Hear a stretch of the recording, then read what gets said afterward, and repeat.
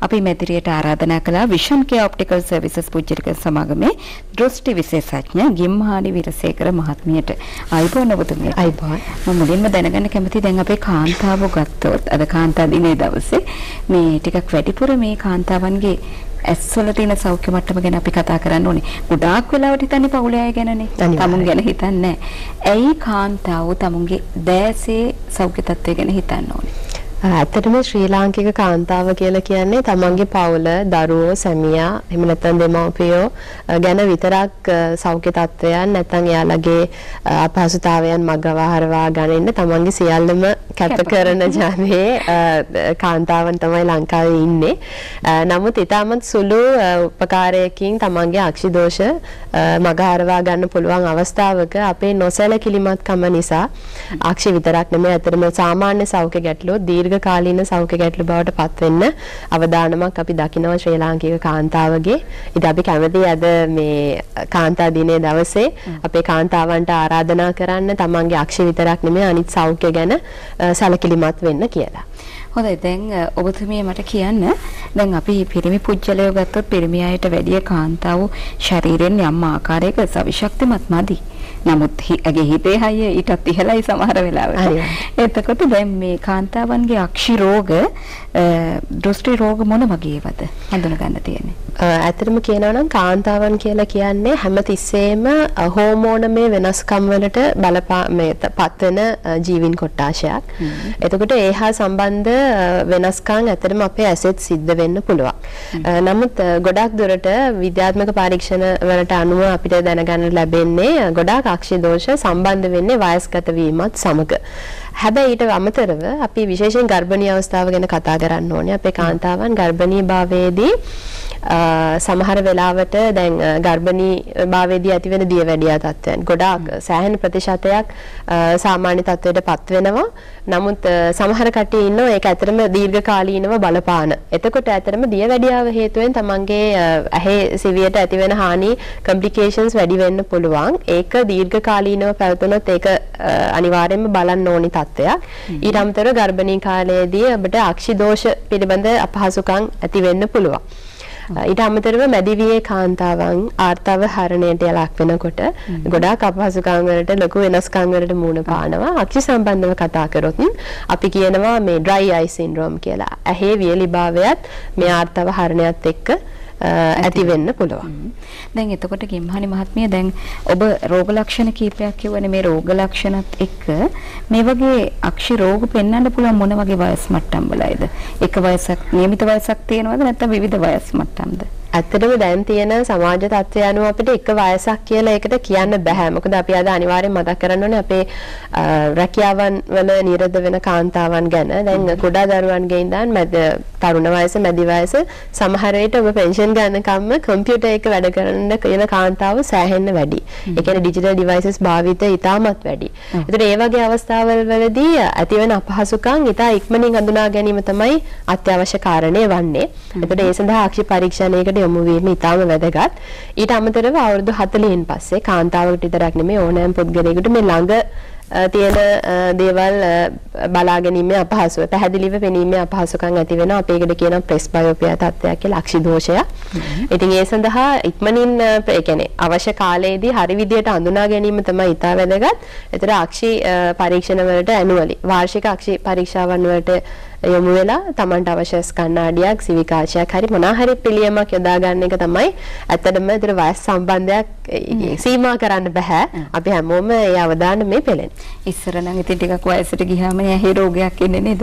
නමුත් අද කාලේ හැටියට ඔබ කිව්වා වගේ එවැනි අවධානමක් තියෙනවා. ඉතින් වයසක් සීමාවක් නැතුව ඇස්වල රෝග එන්න පුළුවන්. ඒ පිළිබඳව දැනුවත්ව ඉන්න ඕනේ. දැන් අද ජාත්‍යන්තර කාන්තා දිනය දවසේ විෂන් කේ ආයතනයේ වැඩිපුර අවධානයක් යොමු කරනවා. අද විතරක් නෙමෙයි දින 365ම ඔබේ ඇස් පිළිබඳව තමයි ඔවුන් සිතන්නේ විෂන් කේ ආයතනයට කෙනෙක් එනවා. ඔබ ලබා දෙන සේවාව කොයි වගේද?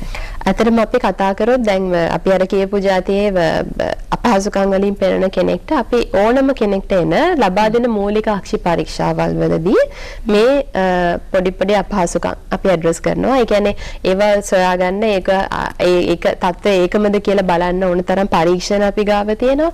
විවිධ උපක්‍රම අපි භාවිතා කරනවා. විෂන් කෑ ආයතනයේ තුල පැමිණෙන්න ඕනම කෙනෙකුට මේ අපහසුකම් වලට පිළියමක් යොදා ගන්න පුළුවන්. ඊට අමතරව අපි ඇත්තටම මේක චුට්ටක් වැඩිපුර ඔබට ලැබෙන්න කියන්නේ උපදෙස් ලබා ගන්න අවශ්‍ය කියලා හිතන ඕනම අවස්ථාවවලදී අක්ෂී වෛද්‍යවරුන් වෙත යොමු කිරීමත් අනිවාර්යයෙන්ම සිද්ධ කරනවා.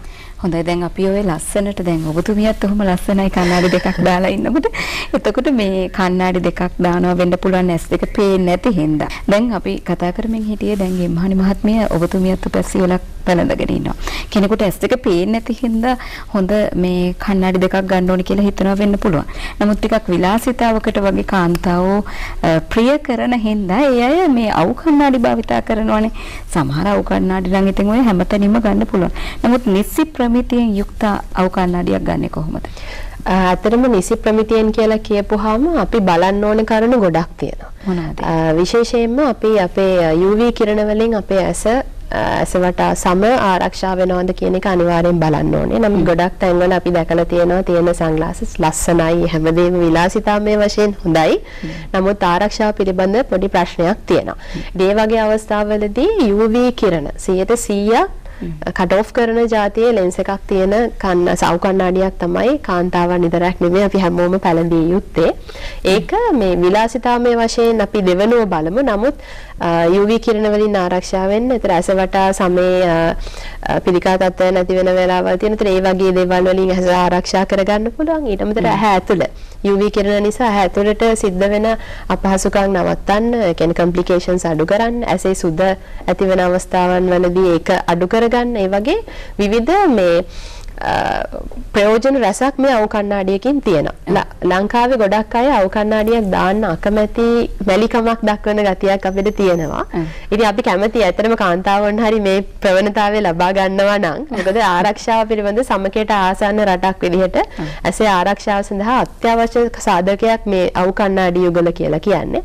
ඊට අමතරව මේක ප්‍රමිතිගතව පාවිච්චි කරන එක තමයි අපි ගොඩක් දුරට මේ රෙකමන්ඩ් කරන්නේ නිකම්ම දාන්නේ නැතුව. එතකොට මූණට ගැලපෙන හැඩයෙන්ගෙන් යුක්ත ඒ දේවල් කරගන්න හරිම ඔබට ගැලපෙනම ඔව් කණ්ණාඩි යුගල පාවිත කරන්න අපිට පුළුවන් විෂන් කෑ ආයතනයේ උදව් කරන්න ඔබට උපදේශන සේවාවන් ලබා දෙන්න. තෝරලා දෙන්න පුළුවන්. ඇහි සෞඛ්‍යත් ආරක්ෂා වෙන විදිහට ලස්සන විලාසිතාවක් විදිහටත් ඔබට අවශ්‍ය ඔව් කණ්ණාඩි ඕන් ලබා දෙන්න සැදී පැහැදී ඉන්නවා.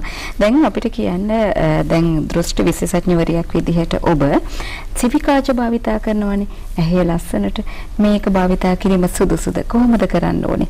ඒක නිසි ප්‍රමිතියට තෝරගන්නේ කොහොමද? ඇත්තටම සිවිකාච භාවිතා කිරීම සුදුසුයි. මොකද අපි සමහර වෙලාවට ඒක තෙරපියුටික් දෙයක් විදිහට, ඒ කියන්නේ ඇස් කණ්ණාඩි වලින් කරන්න බැරි දේවල් අපි සිවිකාච එක්ක කරන වෙලාවල් තියෙනවා. අක්ෂි දෘෂ්ටි දෝෂ වෙනුවෙන්. ඒක භාවිතා කිරීම සුදුසුයි. ප්‍රශ්නයක් නෑ. හැබැයි අපි බලන්න ඕනේ හරි විදිහට අපි මේක පාවිච්චි කරනවද කියන එක.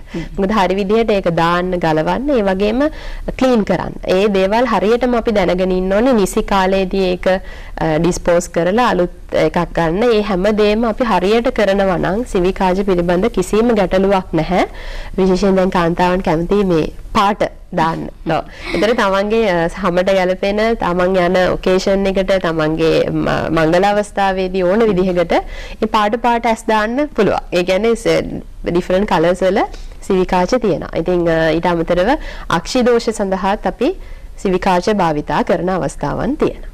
හොඳයි දැන් ඒ සිවිකාච භාවිතා කිරීම අවු කණ්ණාඩි භාවිතා කිරීම වගේ අපි හිතමුකෝ හොඳට මේ කියවන්න පුළුවන් කණ්ණාඩි තෝරගන්න ඕන.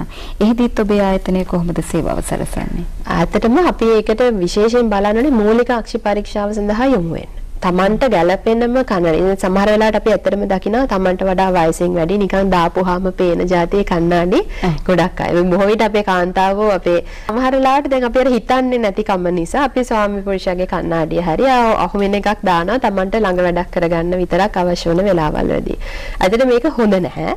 මොකද තමන්ගේට වඩා වැඩි වයසක කෙනෙක්ගේ තමන්ට වඩා අක්ෂි දෝෂය වැඩි කෙනෙක්ගේ කන්නඩියක් දිගටම දාලා දාලා පුරුදු වෙනවා කියලා කියන්නේ අපි අනවශ්‍ය ලෙස අපේ ඇස නාස්ති කරගන්නවා වගේ වැඩක්.